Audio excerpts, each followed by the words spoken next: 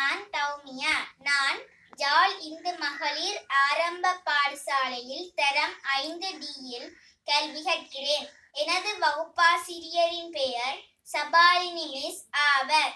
எனது பாடசாலை அதிபரின் பெயர் செல்வி சாந்தினி மாணிக்கம் அவர்கள் ஆவர். இவர்களின் முயற்சியுடன் இன்று உங்களுக்கு திசை காட்டி என்பதை செய்து காட்ட உள்ளேன். இதற்கு தேவையான பொருட்கள் திசை குறிக்கப்பட்ட அட்டை. ரெஜிஃபோம் துண்டு ஒன்று.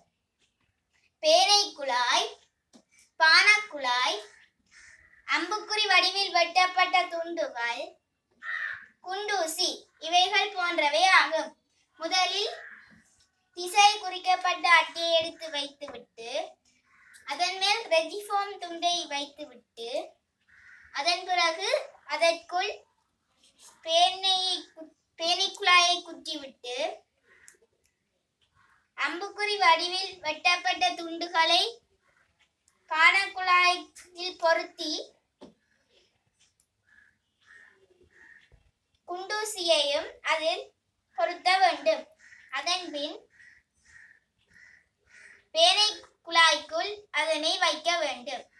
இப்போது காற்று திசை காட்டி உருவாகிவிட்டது. காற்று திசை காட்டியை பயன்படுத்துவோர் மாலுமிகள் பாலைவன பயணிகள் விமானிகள் படகு படகிச் செல்வோர் மீன்பிடிப்பவர்கள் போன்றவர்கள் ஆவர். நன்றி வணக்கம்.